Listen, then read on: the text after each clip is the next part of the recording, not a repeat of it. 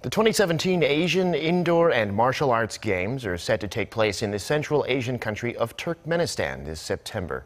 It's the first time Turkmenistan has ever hosted an international sporting event.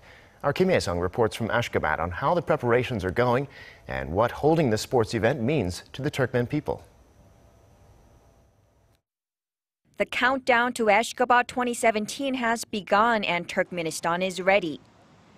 30 multi-sport venues and a main Olympic stadium that can seat 45,000 people are all connected by a monorail. More than 5,500 athletes from 62 countries will compete at the 5th Asian Indoor and Martial Arts Games this September. This is the first major global sports event ever to be hosted by Turkmenistan, whose buildings showcase both tradition and modernity. The main stadium is in the shape of a horse, showing Turkmenistan's love for its native breed and national treasure, the Akhal-Teke, the mascot of the game symbolizing speed, power, and unity. This former Soviet republic, which achieved independence in 1991, has invested over 5 billion US dollars in the facility. It's 145,000 square meters in size and a testament to Turkmenistan's success. It represents the biggest sports complex in Central Asia and in the history of the Games. I think it's, it's a very big boost for the nation itself to deliver such a large-scale event where we expect more than 300,000 spectators, as well as we're going to have a large amount of workforce and volunteers. So overall, I think it will be just a positive emotion for lots of people.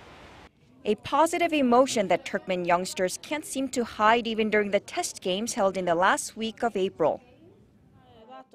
We saw so many foreigners here. It's really interesting and cool.